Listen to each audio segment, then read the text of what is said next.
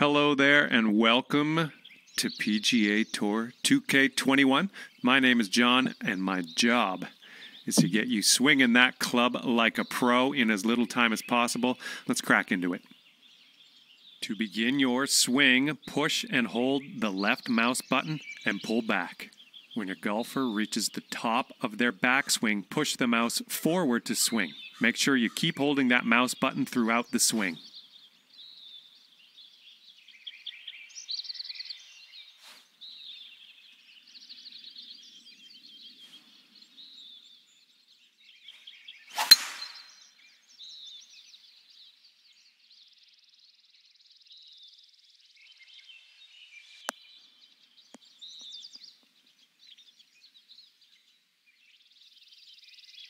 That's what we're looking for.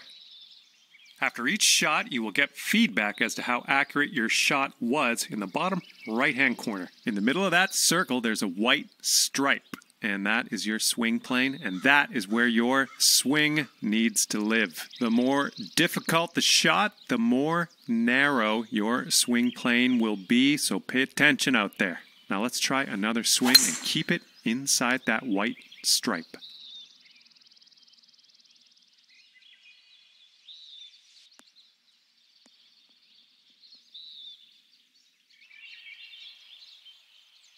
Good job. That's what we're looking for. And you're also going to receive feedback on your swing timing, and that's the meter that kind of wraps around the top of your swing accuracy indicator. Your backswing timing refers to the point at which you transition from backswing into downswing.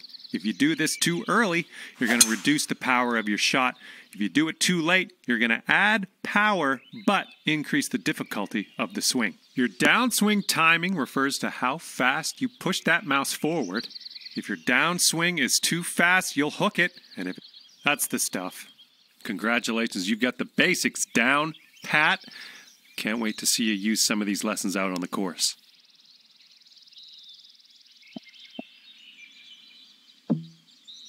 In this lesson, we're going to talk about one of the most important skills you can have at your disposal, and that is putting. Okay, to begin your putt, hold that left mouse button and pull the mouse back. The farther you pull back, the stronger your putt will be. Now, the backswing meter at the bottom of your screen is going to indicate the proper strength for this putt. When the indicator gets to the, well, you've got that one down. The putt weight is how hard you hit your putt. To set your putt weight, move the aim marker towards or away from you. The further away from you the marker is, the stronger your putt will be. Since this is a downhill putt, we'll want to ease up on our weight. So move your aim marker a little closer to you by using the down arrow or the A key. And then, well done on that lesson.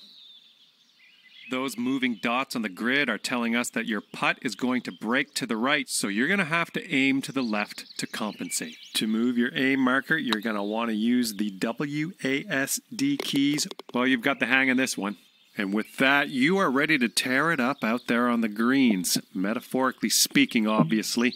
As hello and welcome to this lesson where we will talk about clubs and shot types. I am going to show you how to make the most of what's in your golf bag with a few simple tricks.